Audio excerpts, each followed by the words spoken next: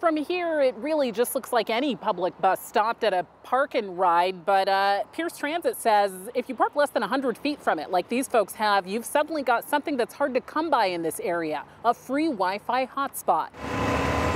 Anita Hayes and her husband say if you need them, the Roy Park and Ride in Spanaway is where you can find them. We'll be here every day.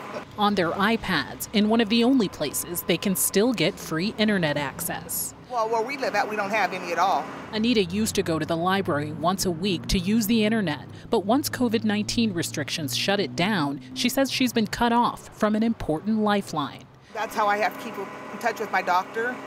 And so if I need any prescription refills or anything, I have to have internet access. Now she's connected again, thanks to the public bus parked just a few feet away from her. Last week, Pierce Transit announced a pilot program geared towards students learning remotely.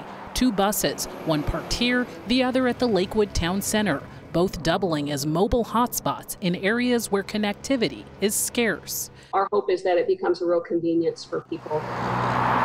A 2019 Pierce County audit concluded that basic economics keeps broadband out of many of the county's rural areas. The study put the onus on county leaders to decide that lack of broadband is more than a problem, it's a critical roadblock.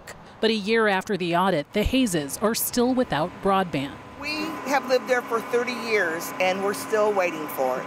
Hoping Pierce Transit's program will expand into more than a pilot. I'm going to come down here every day to support it so they'll keep it going. In Spanaway, Kristen Ayers, King 5 News.